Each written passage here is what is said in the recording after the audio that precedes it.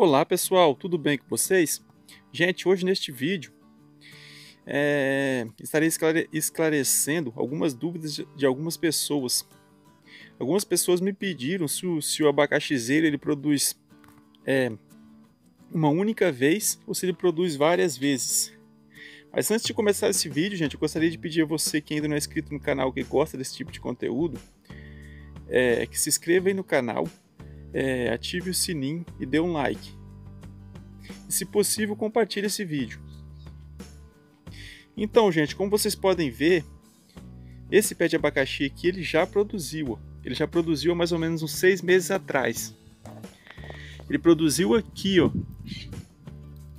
Eu colhi um abacaxi aqui há mais ou menos uns seis meses e ele emitiu esse broto lateral que cresceu, produziu novamente.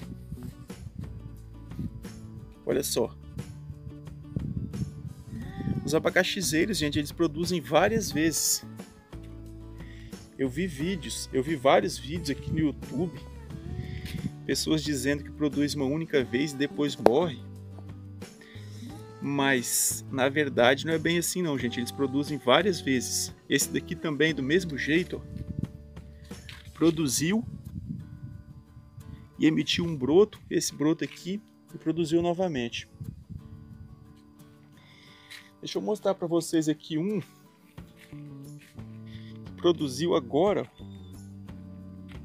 Ó, produziu tem mais ou menos tem mais ou menos uns dois, um mês, mês e meio que nasceu esse abacaxi aqui.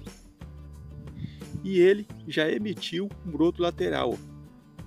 Esse broto aqui, esse broto aqui é, logo logo irá produzir outro abacaxi. Esses brotos aqui, gente, não produz, não produz, ó. Esses brotos aqui são mudas. Esses daqui não produzem abacaxi.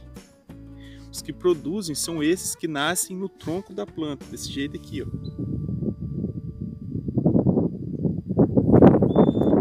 Daqui uns tempos, quando eu fizer a colheita desse abacaxi aqui,